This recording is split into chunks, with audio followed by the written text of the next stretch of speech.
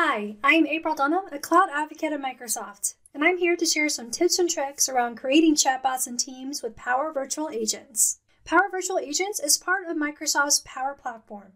It gives us a low code way to create and maintain chatbots with a simple to use graphical interface. It has built in natural conversational AI.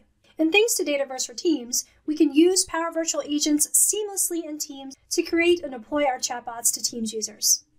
Power Virtual Agents is organized by topics. You can define trigger phrases, and the natural conversational AI will trigger the topic closest in meaning to that trigger phrase or utterance. There's deep integration with Power Virtual Agents and Power Automate. We can leverage Power Automate in our Power Virtual Agent bots to trigger automations. So if we needed to pull data from another system, or maybe we needed to go create a ticket based off of a user's question and response, we can offload all of that to Power Automate. So we can trigger a flow directly from Power Virtual Agents, and we can even respond back from Power Automate in those flows to Power Virtual Agents itself. So let's jump over to a demo and see how it works. The first step in getting started is to add the Power Virtual Agents application inside of Teams. To do that, we'll go to the left rail and click on the Apps tab. Do a search for Power Virtual Agents and select that from the list and click Add. In this case, I already have it added, so it's prompting me to open it. So let's click that and we'll open up the Power Virtual Agents application inside of Microsoft Teams. The home screen gives us information on how to get started, but to create chatbots and to use chatbots that we've already created, we'll want to click on the Chatbots tab. To create a new chatbot, just select the New Chatbot option. Then it's going to pop up a panel where it's going to ask us what team we want to associate this bot with. We can choose an option here from the list, and click continue. Now all we have to do is give our bot a name. I'll call this one hours bot and choose the language for the bot. Then click create. Now we're taken to the home screen of our new bot. On the left here, you'll see this is that test pane that we'll get to here in a second. And on the right, we have options to configure our topics, test, and publish. And on the left, you notice we have a few other options. We have some built-in analytics, for example, that allow us to inspect the performance of our bots once we start using them. But as I mentioned before, Power Virtual Agent bots are organized by topics. So the first thing we'll want to do is go over to the topics section.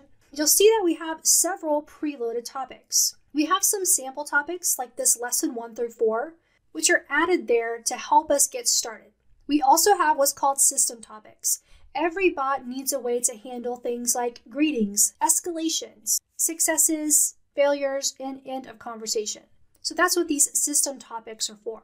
But let's go back and let's take a look at one of those sample topics.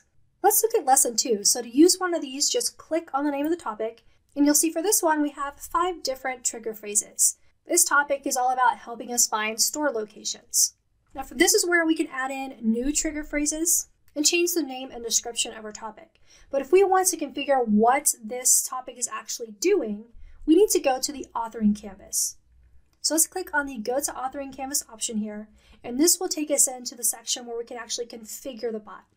We have our trigger phrases defined here, and then we define what action should happen in the conversation tree.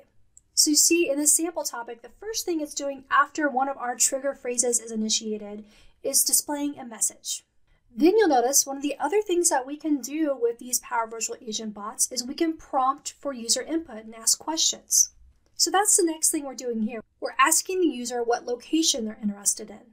So we filled in three options. We have Redmond, Seattle, and Kirkland. So this is going to prompt the user to select one of these options in the bot. And you'll notice one more thing. There's a save response as option. This is allowing us to take whatever the user chose, what option they chose, and output that into a variable that we can then use in our bot. Next, you'll see that we have a condition tree. So based off of which option they chose, one of the three, it's going to check if that variable, selected store location, equals that option. Then it will display a unique message based off of the option they chose. And then finally, it just ends the conversation. We can add additional nodes or actions by clicking on the plus button, and you'll see the options we have. So we can have messages, questions, and call an action, which is where the Power Automate integration will come in. This is where we can go and actually create a brand new workflow in Power Automate that will have a PVA trigger. We can build that out, do whatever we need to do, and have it return data back to our bot. So we have questions, conditions, calls to action, messages, and then we can also end with a survey. Now we obviously want to test before we deploy this, so that's where this test panel comes into play. So if I wanted to test this topic out, I can go over to my test panel here on the left-hand side, type in one of the trigger phrases, press enter, and it's going to show me in real time on the authoring canvas here everything that's happening. So I see I have a green check mark next to the trigger. That means that that triggered successfully. And then green check marks next to the message, the question, and now I haven't chose a store location yet, so if I choose one from the option here, I'll choose Seattle. And now I can see that that finished out our bot conversation. Now that we built and tested our bot, it's time to deploy.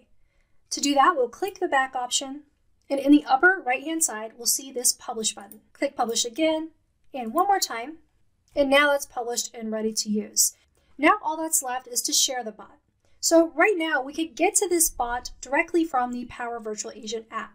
If I click back on the chatbots tab, I'll see my new hours bot right here. I could select it and click open chatbot and add, and this will actually add this chatbot as a personal application for me to use. So that's one way that we can start using it. Another way though, if I cancel out of this and go back into editing this bot and back into our publishing section here, we can choose this share the bot option. And here we have the ability to distribute this to a broader audience by submitting it for admin approval. So this gives us the option to be able to deploy this as a tenant-wide app so that a larger group of people can use it. We can also choose Add to Teams, and that will make this application available in the Built by Your Colleagues section of the Teams App Store. And of course, we can copy the link to the bot and add that as a tab in any of our Teams channels. So let's just click Open from here. And I'm going to add this in for now as a personal application. Let's test it out and see how it works once it's deployed. So it looks just like a normal Teams bot that you could create. So I can type hello, it'll reply back with a greeting, and I can ask for store locations. Notice I misspelled store locations, but it still recognized what I said. And it's prompting me to choose a location, which I can do from the picker, and it gives me the answer. Thanks for watching, and don't forget to like and subscribe for more Microsoft 365 developer videos.